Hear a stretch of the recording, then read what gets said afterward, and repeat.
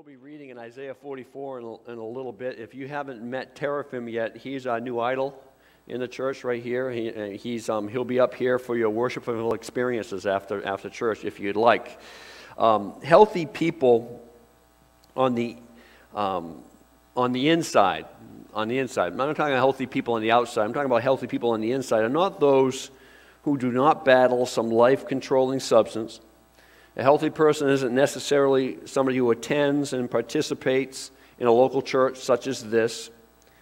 A healthy person isn't necessarily somebody who has a great family life and or maybe have made generally good decisions for their life. Healthy people, my friends, when I talk about healthy people, I'm talking about people who derive their internal life from the right sources. That's what I would call a healthy person. I get my internal life, my thought life, my points of motivation I get them from the right source. I don't, I don't get them from um, exterior sources, nor do I look for them there. At least I don't look for them very long. It's very important, and we try in our teaching and preaching here at Grace Connection to always remember um, Jesus is all about the inward life more than the outward life. Christianity is, is wrought internally more than externally.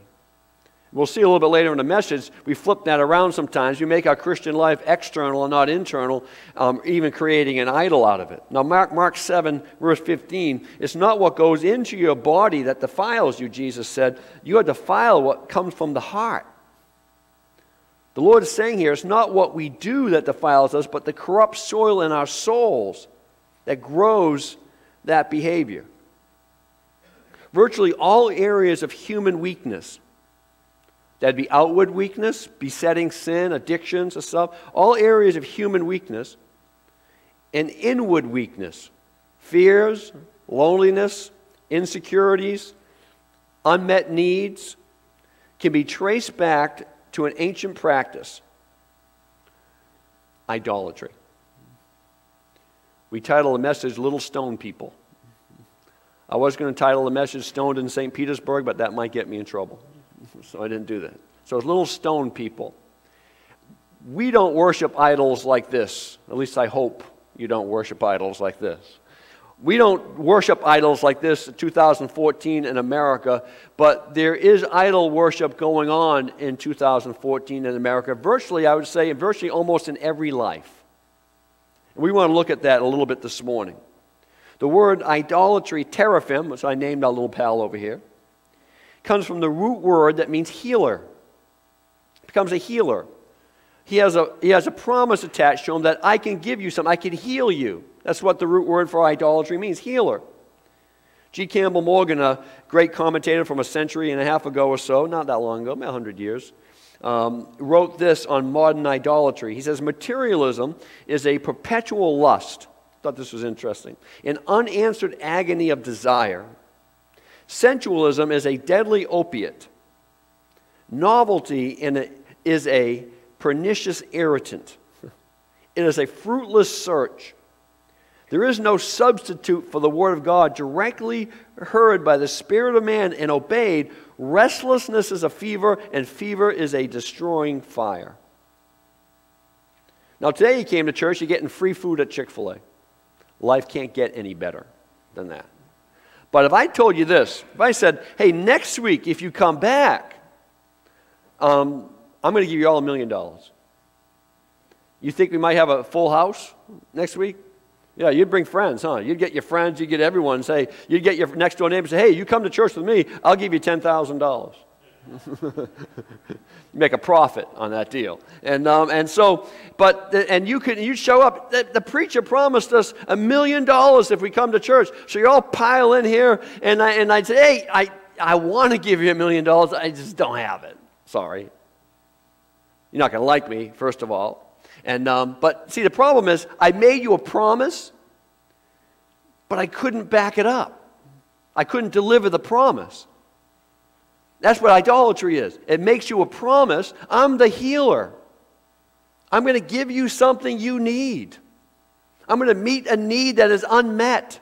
I'm going to fulfill you in a way that you feel unfulfilled. I'm promising you this. I can be your healer. but it's just a little stone person. It has no life, it has no power, it has no ability. Idolatry is when my trust is transferred from God to another object, a person, a skill, a talent, or an experience. Somebody else's definition, not mine. Now, go to Isaiah 44 common pa- popular passage in idolatry. Um, God is talking to Israel through the prophet Isaiah here. Let me read you a good portion of this passage. A carpenter, verse 13, stretches a line. He marks it out with a pencil. He shapes it with the planes and mark, marks it with a compass. He shapes it into the figure of a man with the beauty of a man to dwell in a house. He cuts down cedars and he chooses a cypress tree or an oak and lets it grow strong among the trees of the forest. He plants a cedar and a rain to nourishes it. Then it becomes fuel for a man. He takes part of it and warms himself. He kindles a fire and he bakes bread. Also, he makes a god and worships it. he makes an idol that falls down and falls down before it. Half of it burns in the fire. Over the half, he eats meat. He roasts it and is satisfied. He also warms himself and says, Ha ha, I'm warm. I have seen the fire. And the rest of it he makes into a god, his idol, and falls down to it and worships it. And he prays to it and says, Deliver me, for you are my God. See what he's saying? The carpenter cuts down the wood, he builds things, takes some of that wood, makes a fire, cooks his food on the fire, then saves a little bit of that wood and makes a little idol. Just, yeah, I got, I got wood, I got a fire, I got a house, and I got a God. I'm going to worship my God. I just made it. Not a real big God, not a real powerful God, because I made it. But that's my God. He worships it. Um, verse 18. And they know not, nor do they discern, for he has shut their eyes so they cannot see, and their hearts so they cannot understand. No one considers, nor is there knowledge or discernment to say, half of it is burned, half of it I burned in a fire. I have also baked bread on its coals. I roasted meat and have, and have eaten. And I'll say, and, uh, and shall I make the rest of it an abomination? Shall I fall down before a block of wood? Interpreter says this about this, commentating on this verse. He says he warns about this type of empty, well worn religion. Behind it, behind it all stands his invincible faith, talking about Isaiah, in one God, exalted and sovereign in the earth, pres- present in the hearts and the consciousness of men, available to all who cry to him, yet invisible and holy, whom men apprehend not by seeing of the physical eye, but of the eye of faith and the revelation of the Word of God. So I worship, down, I worship my block of wood. Verse 20 He feeds on ashes. A deluded heart has let him astray, led him astray.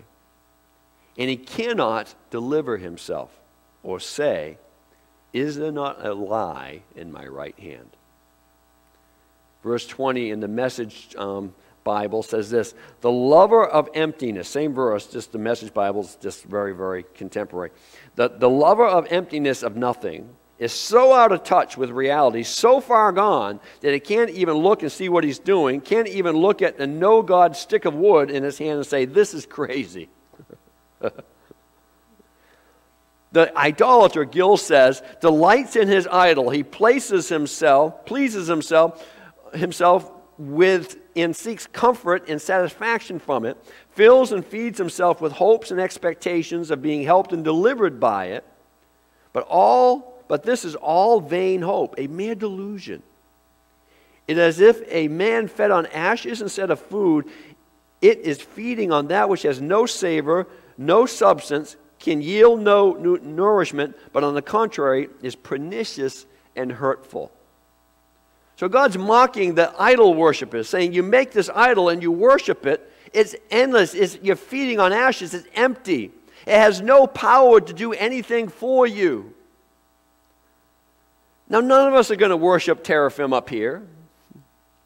None of us probably have a little thing at my house. We have a little wood here where I have my candle burned to it or, or a crystal or something like that. At least if you do, please see me or Dr. Lewis after church. We'll pray deliverance for you or something like that. We don't really deal with that type of idol worship today. It's not something that we, we really address, not in America anyway. Other nations, they still deal with some of these things. But do you think Satan is so narrow minded that this is the only type of idolatry that he would use? He'll use anything to replace God. He, he'll use anything to convince you there's another healer than Jesus Christ. And that's what we want to look at a little bit today. How does idolatry happen, first of all?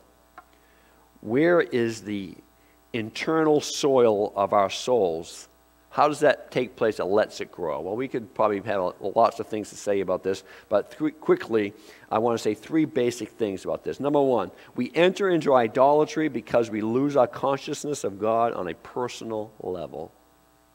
Maclaren says we ignore God.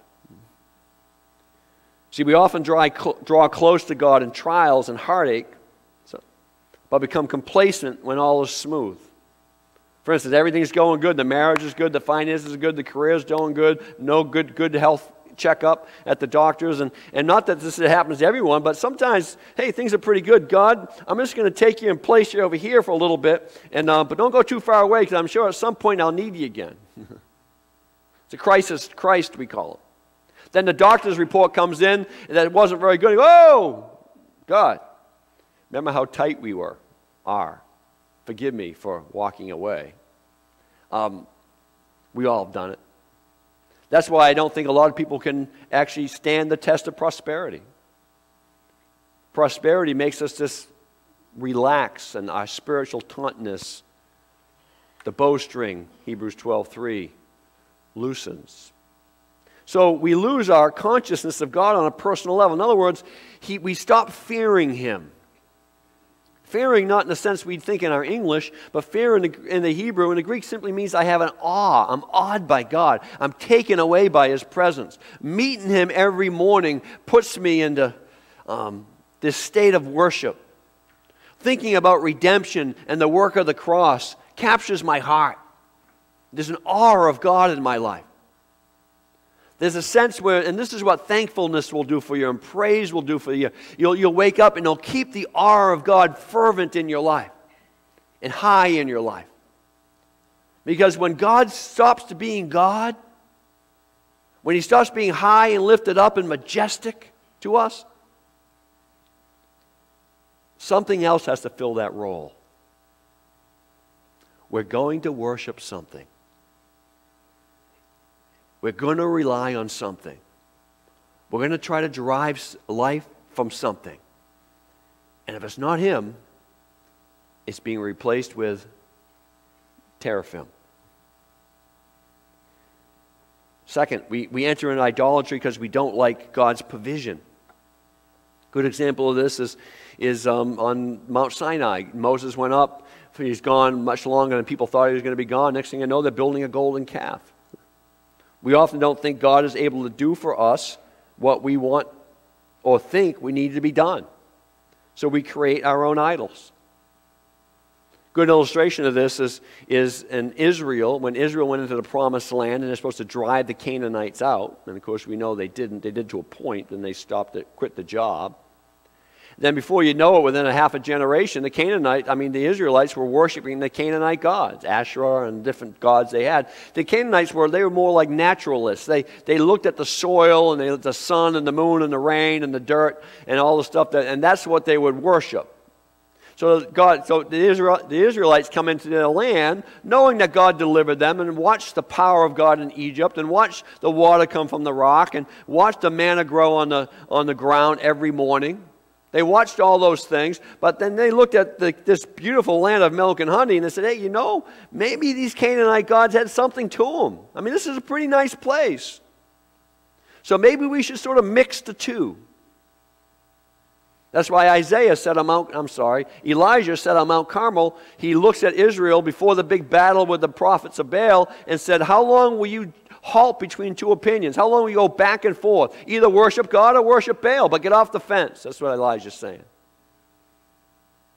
Because they looked and said, Would God I know God delivered us from Egypt. I know He brought seven plagues. I know He brought us manna in the morning. I know He brought water out of the rock. But could He give us a good crop? Is He that big? Could He keep this land as fertile as it is? is could He really do that? Maybe we got to keep our hand on.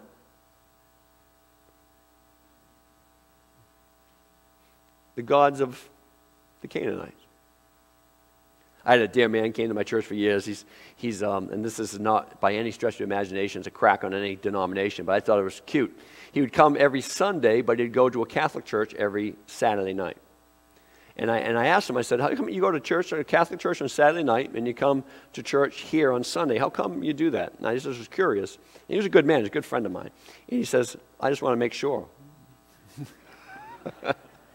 he goes, he said, um, I'm not sure exactly who's right, you or them. So I'm going to go to both, and just I just want to cover all my bases. So he says so. So he so he went to both, and he did for many many years. He went Saturday night to mass, Sunday morning here, because he just wanted to make sure he had all his bases covered. Number three, we enter into idolatry. Third point, because of unmet needs. This is a big one. An unmet need will always point to a place of deficiency in our day to day walk with God. Now, don't get me wrong, every one of us have unmet needs. Me starting right here. This is why so many burn out. You know, the average pastor lasts um, four years in ministry.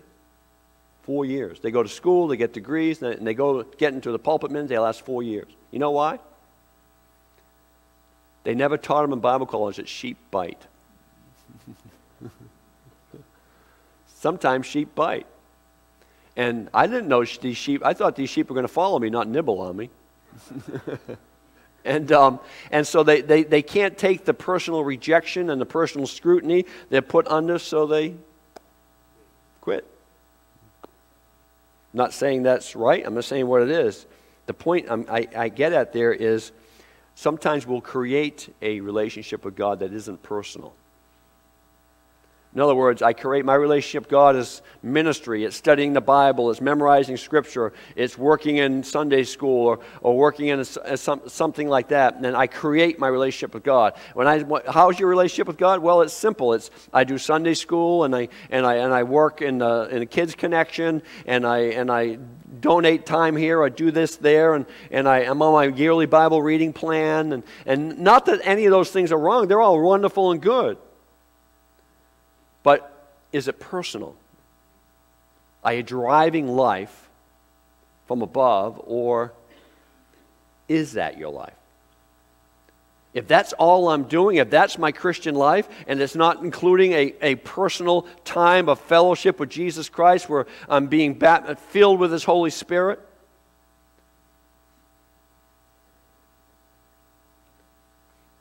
I could be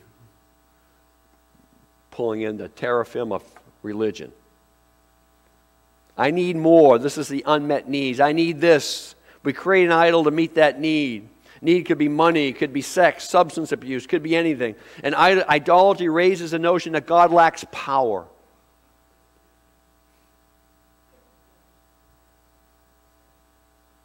Let me say this, my friends. I'm going to get into the four areas of modern idolatry. When God looked at the human race and saw the human race's deepest needs, he came up with a plan to meet them. That. That cross. That was his plan to meet you in your deepest needs. He looked at addiction, he gave us a cross. He looked at loneliness, he gave us the cross. He looked at um, self consciousness, he gave us the cross. He, he looked at fear, he gave us the cross. The cross was God's very best. It was the very best of God's love, it was the very best of God's wisdom, it was all of God's power. All went into a cross to meet man where man needed to be met, basic level in his life. There was nothing else but that. That's the best God has. There is no better. It'll never be any better. There'll never be anything more powerful, no, nothing ever more transformational but that cross. That's why we preach about it, we teach about it, we think about it, we thank God for it. Do we know what it did for us? Next five weeks, we have a series, Fantastic Five. That's what we're going to be talking about. What that cross did. That's my answer. You don't like what's on the inside? Go there. You struggle with this? Go there. Start there. That's where we start. Let's drill down a little bit into these four areas that modern idolatry. First of all, there's a people based idolatry. This is what you'd call today as codependency. I remember when codependency became a real word, it was in the 80s and I had some folks come in for counseling, and they said they were codependents, and I thought they meant they were part of a court trial and they were co-defendants or something like that. I didn't know quite what they were even talking about, and so I and so I said, I, I being as smart as I was, I looked at them, mm-hmm, oh, that, okay, and I when we talked for an hour, then I, I went home and and I, I, I said, I got to find out what that is. I don't even know what they're talking about. so I ran to the Christian bookstore, found one book. There was only one book written on codependency by that time, Melody Beattie's book. There's like 700 of them written now about it, but there was uh, maybe 7,000. And there was, and um, I remember reading them. Oh, that's what codependency is. It's people idolatry. It's easier when I put it into a Bible framework. it was just people idolatry. I look to others, the opposite sex, friends, acceptance in a social circle by means of evaluating my worth. Even motherhood or fatherhood to evaluate my worth. We have to elevate above that. How a man or a woman accepts or rejects you cannot evaluate your worth. You're worth more than that. You're worth more than another human being stupid. You're worth more than that. You're worth more than being mistreated. You're worth more than that. Christ has placed you in a divine family. You have a, you are of, of consummate value to Him. Everyone in the human race is loved by God deeply. He died for everyone in the human race. The people based idolatry. Then we have things based idolatry. This is when we're addicted to our media. It's one of them, anyway. That's a new addiction, by the way media addiction. Who has a cell phone on them? Who gets a little nervous if you're away from your cell phone for 10 minutes, 15 minutes? We have recovery groups for you. I was driving here the other day, and I was, I was, I think it was Monday or Tuesday. I was driving here. I got almost right to the church, and I realized I left my cell phone at home. Fear gripped my heart. I, I, I, was, I was reaching for my cell phone to call my wife and tell her I left my cell phone at home. I, I, realized I didn't have my cell phone, so I went to text my wife and tell her I left my cell phone. I didn't realize I had my cell phone, so I couldn't text. I was, I was hopeless. I was stranded. I didn't have my iPhone. Oh, no. Yeah. I made it, but it was hard. It was hard. I drove home, kicked in the door. Where's my phone? And, oh, let me send a text to come me. and, and, and Media addiction. I, my, my, my little 16 year old granddaughter, Bree, she's, um, she's hearing impaired, so she really likes media and technology and stuff like that. And when they knew the new iPhone was coming out, my goodness, the heart. I need it. I need it. I need the new iPhone. But the other iPhone's four months old. I know, but I need the new one. I need the new iPhone. I need the new iPod. I need the new iPad. I need it. I knew I anything that's I. I need it. It's a whole culture. And um, so, and it's, it's thing based idolatry. I'm not saying I have a, oh, it's over there actually. I have an iPhone, I have an iPad, I have lots of i stuff. A couple iPods. I, I, I love this stuff. I like playing with it. I like apps. I like anything. I like it. Um, what did we do without it? Except have peace. things based idolatry. This is a big one in America, my friends. Sometimes we think more money, more stuff, more security. The, the, the, the more I own, the better I think of myself. Then we have addiction based idolatry. 500 classified addictions now in the psychological circles. Addiction simply is it's just any attachment to a thing or a substance that we are convinced we need for our happiness and fulfillment. A, clinical definition is a, a, the continued repetition of, be, of behavior, behavior despite adverse consequences or neurological impairment leading to such behaviors. Now, I understand there's a physical aspect in addictions as well as a psychological as- aspect in addictions. But that's what addiction is, my friends. Something that we come, become dependent upon outside of Jesus Christ. Then we have, lastly, religion based idolatry. This is a big one. Happens, this could happen to all of us starting right here. Religion become idolatry? That's what idolatry was, was religion. They worshiped this. They worshiped the thing that promised them as a healer. Numbers chapter 21, you know the story. I'll recount it for you a little bit. They just got kicked back into the wilderness after Kadesh Barnea, and they went into the wilderness and they had um, um, God sent these, these fiery snakes. They had this nasty snake bite, and they were biting the Israelites, and they were dying. There, about 30,000 of them plus died by, by these snake bites. So they complained to God, and God told Moses, Go, go make a, a snake a serpent out of brass, lift it up on a pole. And anytime one of the Israelites get bit by a snake, have them look at that snake, that serpent, brazen serpent, up on that pole, and they'll be healed. So they did. They made that little brazen snake and they stuck it on the ground. And every time someone got bit in the, in the camp, they would look up and the snake bite and the pain would go away and they'd be healed. The brazen serpent. It's a type of Christ we see in John chapter 12. If I be lifted up, I'll draw all men unto you. But now we fast forward 800 years to 2 Kings chapter 18. King Hezekiah, young guy, 25 plus years old or so, comes in and starts doing some much needed reforms in Israel. Israel had fallen into idolatry, all sorts of idolatry. They had blended in with their society, the Canaanite culture and such. Hezekiah comes in as a new king and says, Enough of this, we're cleaning house. And he started going through the highways and the byways, getting rid of the Asherah poles and all the different idolatrous things they worshiped. Then he was going through some trunk someplace. I'm adding dialogue to this narration. And it's wrapped in that trunk or someplace stuffed away. What did he uncover? That little brazen serpent, that little snake of brass. 800 years later.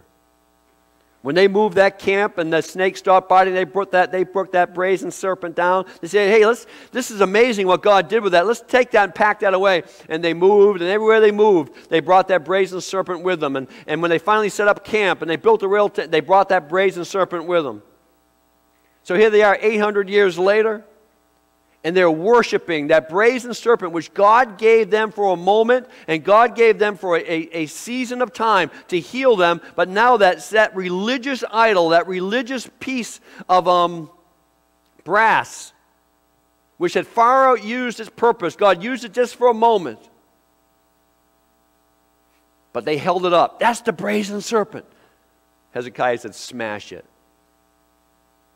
The word in the Hebrew, as you know, is netushan, nuhushtan, or break it up into little pieces. He took the religious relic and smashed it. How many of us have idols of religion? In the world of churchianity, now there's so many preferences. Let's say, let's take music. There's so many preferences in music. I know for a fact that God likes the Gaither vocal band and that in heaven, Bill Gaither will probably lead the worship, him and Gabriel. That's, that's, I know that for a fact. Anyone that believes otherwise is from the devil. That's called Nahushtan. That's called religion. That's, that's called religion. Listen, there are other ways of doing it. You know, you go to Africa and they have these drums and they just beat the snot out of these drums. They're worshiping. They couldn't do that here. I wouldn't want them to do that here. I'm not talking this church, I'm talking about America. Why? Because it's not our preference. Be careful to not to let your preferences become idols. Very careful. I have to be careful for that. I have preferences. Religious based idols. This is when we, we take our religion and we, and we narrow it down to the outward and not the inward. We take our religion and we have this is what this is what my Christianity is. I do this and I do that and I do this. And that could be Bible reading and that could be my time all those nothing nothing wrong. Those are all good things. But is it personal? Or is it mechanical? is there interaction between you and God? I've tried to learn, teach myself in my own Christian life to hear the voice of God as He speaks to me. He never, as I've said so many times, He talks to me about me. He shows me things about His Word which I have found significant, and especially in the last few years of my life as I've needed Him to intervene so desperately. But some of the great lessons I've learned, he's shown things about me. He showed me what makes me tick why this bothered me or that bothered me, why I, my, mode, my real motives for doing this or acting that way, or taught me about myself. I saw all sorts of little teraphims, religious idols that popped up that were not personal, they were mechanical. Listen, what's, what's God's?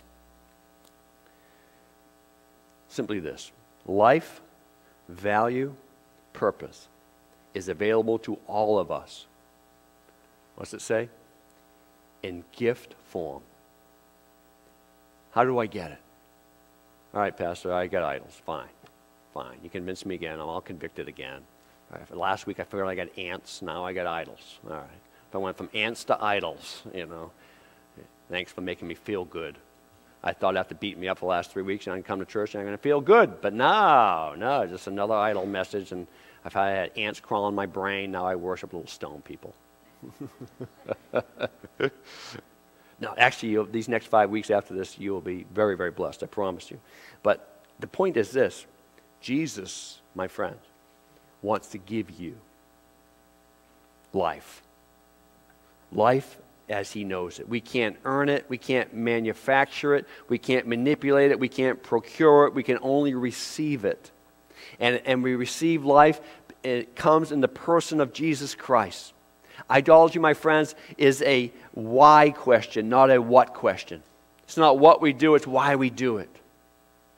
It's not what we do, it's what's, what's the, the point behind it. Since the Garden of Eden, we have been on a quest to find life. When Adam and Eve was thrust out of the garden, they've been on a quest. I have lost life. My life with God is gone. I need to find life. Where am I going to find life? Adam, are you going to be my life? Eve would say, Eve, no, are you going to be my life? Now, maybe we'll have children. Maybe that will be my life. And whatever it is, maybe we'll have good crops and success. Maybe that will be my life. No, they're always looking for life because their life they had with God was now severed. There was a ceiling there, the fellowship was hindered.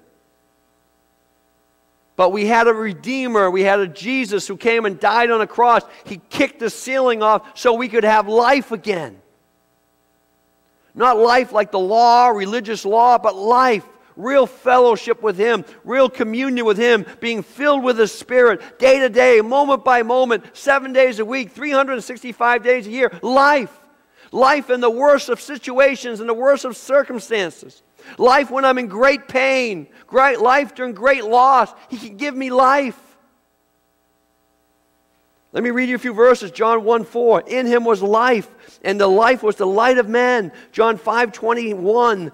For the Father, for as the Father raises the dead and gives them life, so the Son gives life to whom he will.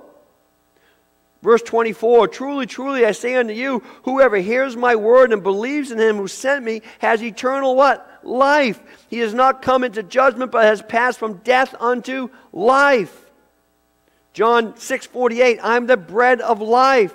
John 10 10, I come to give you life more abundantly. John 11 25, I'm the resurrection and the life. John 14 6, I'm the way, the truth, and the life. It's me. I want to be your focus of worship. I want to be your need meter. I want to meet you in the core of who you are. I want you to look to me, not a man, not a woman, not to money, not to substance, but to me. I want you to draw close to me every day. I want to be your life. There is no life. There's just little stone people that will promise you life. This money can't give you to it. A man, a woman, security, um, nothing can give you life. It only comes from one source. And God designed it that way. He wants to be our everything. My friends, the horizontal changes. The horizontal is this it's life. It's life as we live it.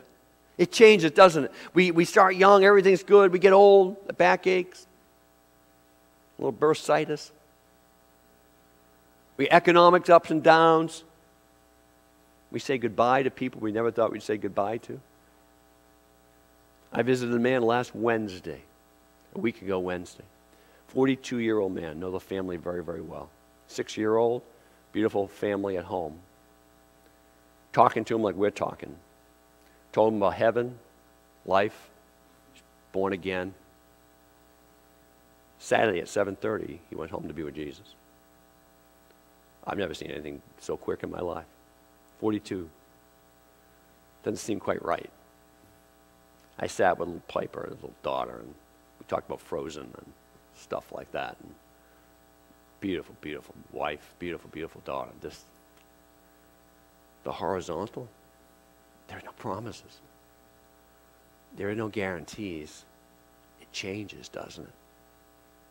If I'm looking if I'm looking at it here, my friends, if I'm just anesthetizing myself through substance and so I don't have to deal with this, then I'm, never, I'm just running away from life. The horizontal will always change, it will morph throughout our lives. The vertical is constant, it's always there, it's always available. Jesus wants to be our everything. He wants to be your source for love. He wants to be your source for acceptance. He wants to be your source for security. He wants to be your significance. He wants to be your passion. He wants to be, he wants to be your everything, not a little stone person. We wouldn't worship him because that's stupid. but you know, if I was to take this apart, and shortly after you all go, it'll probably be taken apart, you'll find that underneath my idol here is just a chair and some milk crates and um, a couple kids from Sunday school, stuff like that. It's just, um, it's just, it's not that, um, it's really, it's, it, I know it's worshipful. I know you look at it, you want to fall down in, front of it and, and say, holy, holy, holy. But, but there is, but it's really just, just, just stuff underneath there. Just like in Isaiah 44 that said, what? God said you're worshiping a piece of wood? There's no life in the wood. There's no life in that. There's no life in worshiping a husband or worshiping a wife. There's no life in having a million dollars in the bank. There's no life in that. You want life, it's in one place, and that's in Jesus. He's the way, the truth, and the life. You don't have to worry about idolatry in your life, just like you don't have to really worry about ants.